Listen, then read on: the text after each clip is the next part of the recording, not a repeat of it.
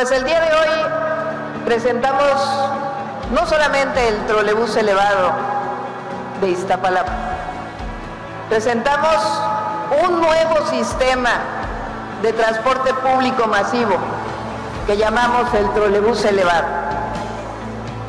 Esta obra que ven ustedes aquí no es por nada, pero es única en el mundo. En ningún otro lugar del planeta pueden tener ustedes un segundo piso de 8 kilómetros con electromovilidad donde solamente se muevan trolebuses. Estoy segura, como fue el Metrobús, que dará ejemplo a otras ciudades del país, a otras partes de la ciudad y, por qué no, a muchos otros lugares del mundo.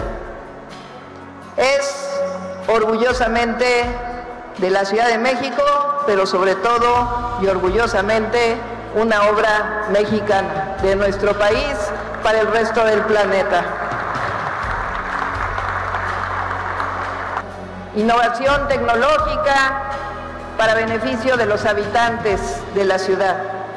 Cumplimos, pero también mostramos, porque tenemos un buen maestro, y ustedes ya saben quién es, que con honestidad, persistencia, constancia y mucha, mucha convicción y amor al pueblo al que uno sirve, la ciencia se pone al servicio de la gente y que con ello el camino siempre está lleno de esperanza y esperanza en el porvenir.